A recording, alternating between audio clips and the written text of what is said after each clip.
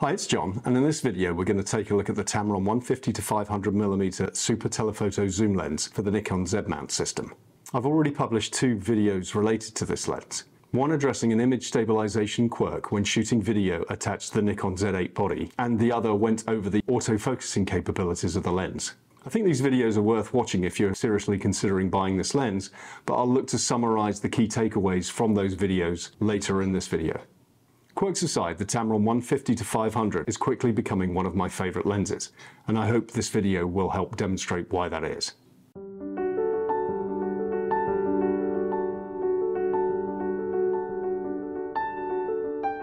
So why was I in the market for a new super telephoto lens? I shoot a lot of photographs of my kids doing outdoor activities, and having some extra reach is very useful. I previously bought the F-mount Tamron 100 to 400 as well as the Panasonic Leica 100 to 400 version 1 for use on my Olympus EM1 Mark III body. While both were optically decent, neither has reliable continuous autofocus for fast-moving subjects on the bodies I have. So any replacement lens has to perform well for action photography. My recent video on the AF performance of the Tamron 150 to 500 shows it has very capable autofocus acquisition and tracking capabilities. We'll take a look at some of those tracking sequences later in this video. So let's spend a moment going over why I bought the Tamron 150 to 500mm lens rather than what is its closest competitor in the Nikon 180 to 600mm. I think at a high level it comes down to how you prioritize cost, size, performance and reach. Starting with cost, the Nikon at $1,700 is $500 more than the Tamron lens. And looking at the size, the Tamron unzoomed is much smaller than the Nikon. Though consequently, the Nikon has an internal zoom, which many favour. On the zoom range, the Tamron is more flexible at the short end, though the Nikon wins out for overall reach. A key feature of a super telephoto lens is image stabilization, and here I think the Nikon is the likely winner. Both lenses test well for sharpness, and differences are likely to be indiscernible in real-world usage. The Nikon has the advantage that it works with teleconverters, whereas the Tamron will not accept them.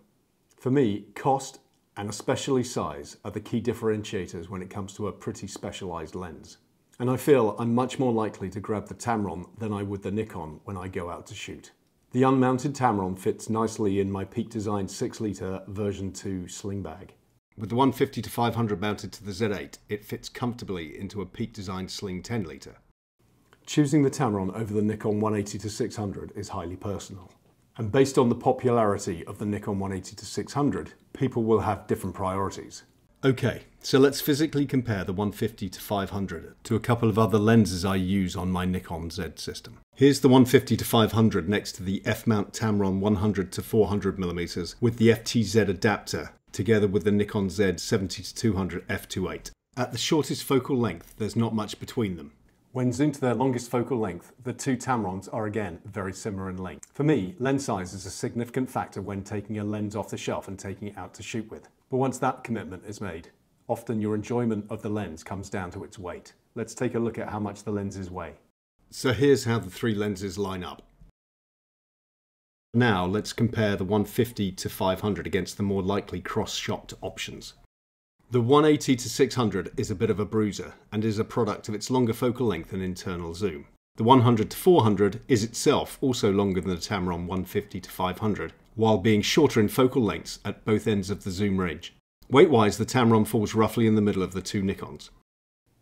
I've used the Tamron a number of times on stints lasting up to a couple of hours. I've managed to handhold the lens on a Z8 body, raising the camera up when there is action to shoot and otherwise lowering the camera. In these circumstances, I found the size and weight to be very manageable, but I'd imagine if you're shooting more continuous action like soccer or basketball, it may be more of a challenge. That covers the physical dimensions of the lens, so now let's take a look at its other physical features. Starting on the underside of the lens is a USB-C port, which can be used to update the firmware with the Tamron Lens Utility software. Surprisingly, there is no cover or grommet to protect the port from gunk or water, though I understand the bare port is resistant to water. I thought I'd check out the software update process, so I downloaded the Tamron Lens Utility software onto a Windows Surface Pro 7 computer and attached the lens using a USB-C cable. The software recognised the lens and checked for the latest firmware, reporting back that the firmware on my copy was the latest version. I also checked the customised lens option, but this merely repeated the firmware update check. I'll have to try this on my Mac to see if I get similar results. Anyway, it's a pretty quick and painless process to check whether the firmware needs updating. Let's turn our attention to the switches on the lens barrel. The Z-mount lens features three switches rather than the four found on the Sony and Fuji versions. The Z-mount version is unique in featuring a linear non-linear switch for manual focusing. When non-linear is selected, the lens changes focus based on how fast you rotate the focus ring, whereas linear changes focus based on how much you rotate the focus ring. Based on the brief testing I performed, this works as described. Let's take a quick look. Nonlinear allows you to quickly change the focus point with a quick twist of the focus ring and then accurately fine tune it as you approach the focus point by turning the ring more slowly. By contrast, linear predictably changes focus from one point to another based on how much you rotate the focus ring, irrespective of how fast the focus ring is rotated. This would be helpful for focus pulls in video. The second switch is the regular autofocus manual focus selection. And the third switch in the cluster is the focus limiter. It has three options between full range, minimum focus distance and 10 meters, as well as 10 meters to infinity. I've played around with the switch and it does its job. Here are some photos taken at my daughter's baseball practice. The lens would often focus on the net of the batting cage. By setting the switch to 10 meters to infinity, it forced the lens to ignore the netting. The Fuji and Sony versions of the lens also feature switches to control image stabilization. These are omitted in the Z-mount version and are controlled in camera. We'll go into image stabilization in more detail a little later. The lens also features a zoom lock and something Tamron calls a flex zoom lock.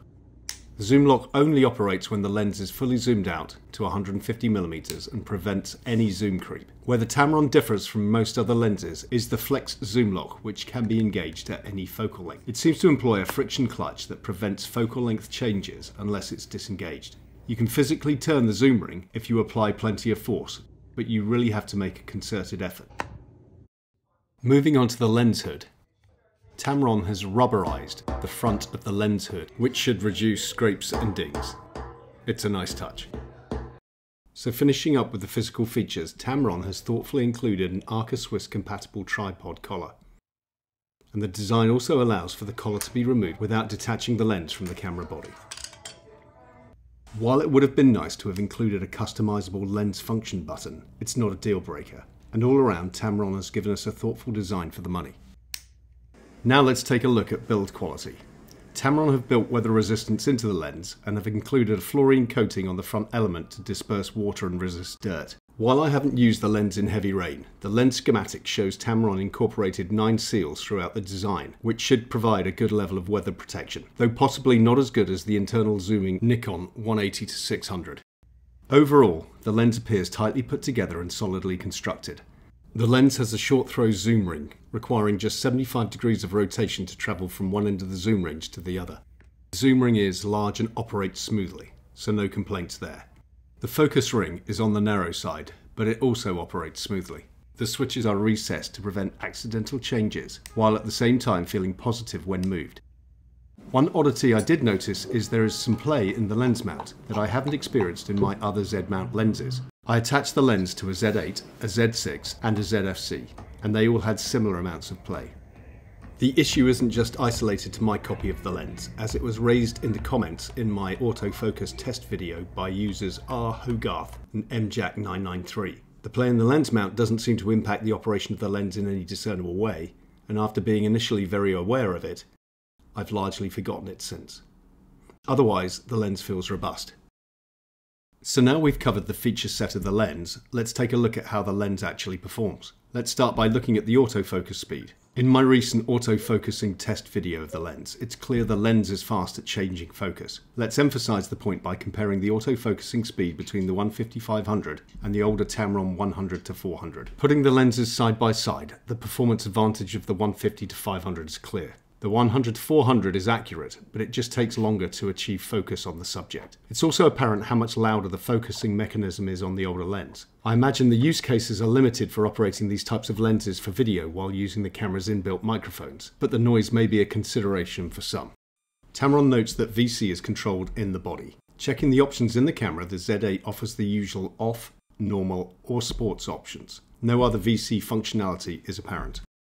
When I turned on the VR in the camera body, from some limited initial testing, the image stabilization seems to do an okay job for stills. I didn't do a ton of testing here, as I typically use fast shutter speeds to freeze action with this type of lens, so image stabilization when shooting stills isn't very important to me.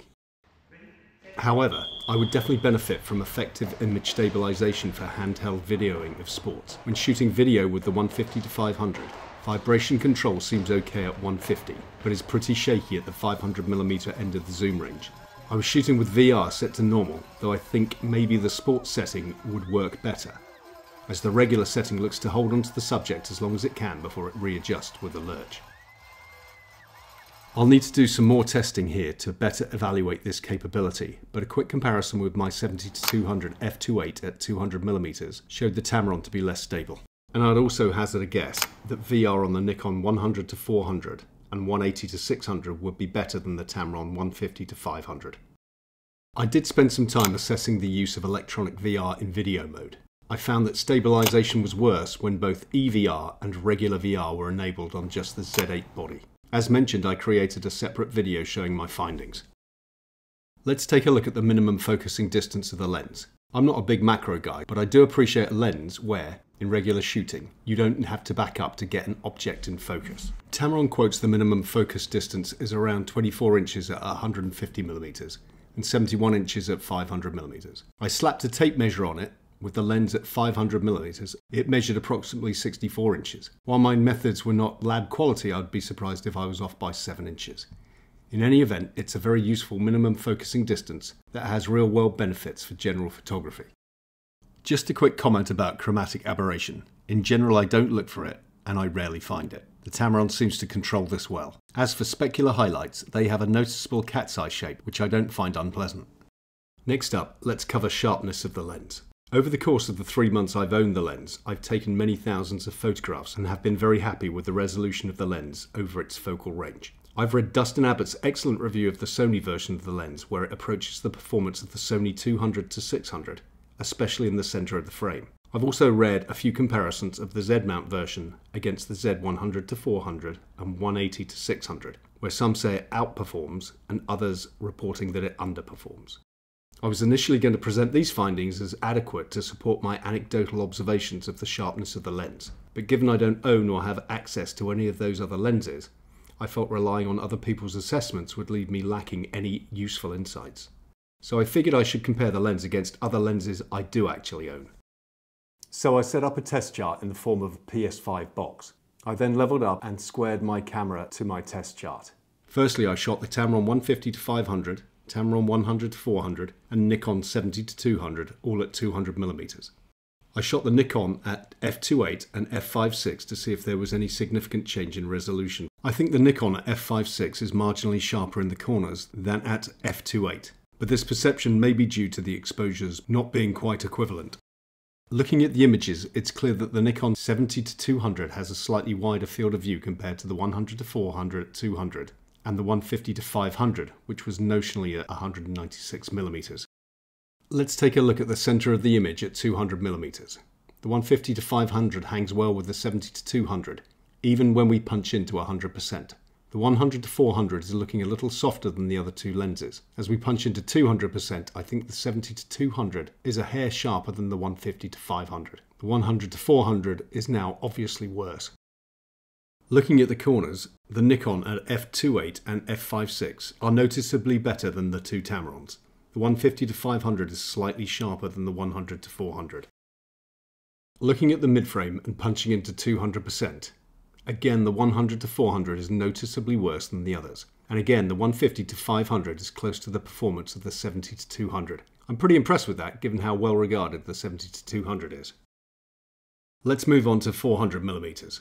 When I zoomed the 100 to 400 out to 400 millimeters, the recorded focal length of the 150 to 500 was 370 millimeters at the same distance, and I feel I matched the field of view pretty closely.